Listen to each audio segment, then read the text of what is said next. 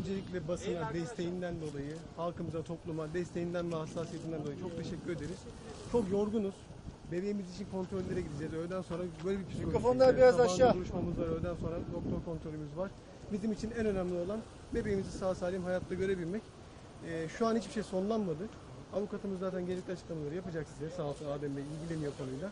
Ee, doğumdan sonra ertelendiği bir duruşmamız var. Daha şu an hiçbir şey ortada değil, netleşmedi. Sadece e, şu an tutuklulukları durumu e, söz konusu değil.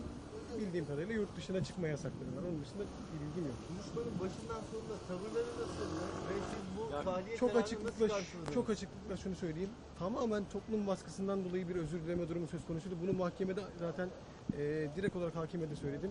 Kesinlikle pişmanlık duygusu yok ve e, beyanlar da zaten bizim yaşadığımız olaylardan tamamen farklıydı.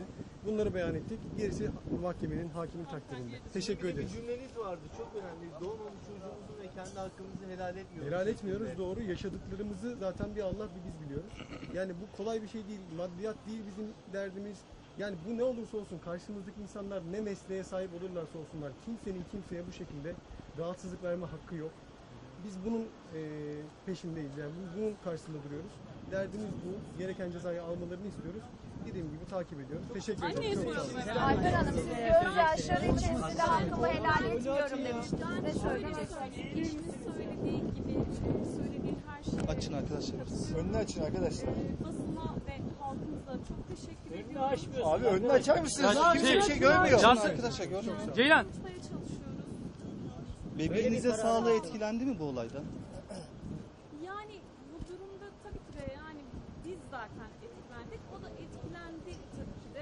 E, Unutmaya çalışıyoruz. Siz de yardımcı olursanız Sağ çok olun. seviniriz. Çok Ya teşekkür kolay bir şey değil. Tabii ki. Basına da yansıması, toplumda Tabii ilişkiyle daha fazla büyüdü.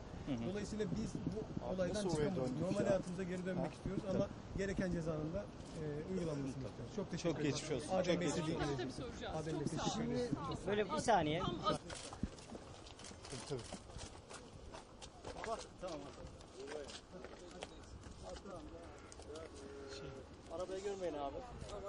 Evet.